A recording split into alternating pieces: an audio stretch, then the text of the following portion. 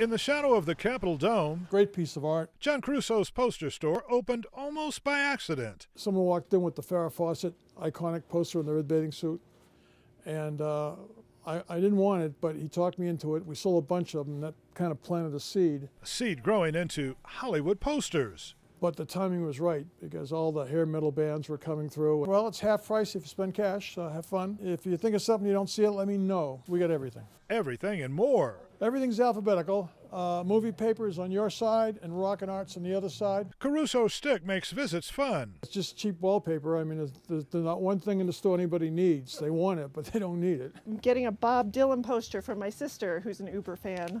It's for my sister Laura. There's so much. I wish I could buy the whole store, but uh, I don't have enough wall space. So Gonna be in so much trouble. Two Ali posters, Outlaw Josey Wales, and Wings over Chicago.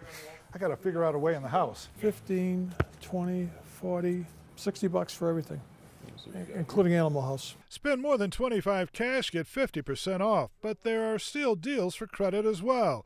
Crusoe says, simply time to hit the beach in Cali, taking Hollywood posters kind of full circle on Colfax. Had a good ride. 35 years is a long time for a business. Jon Bowman, Fox 31 Denver.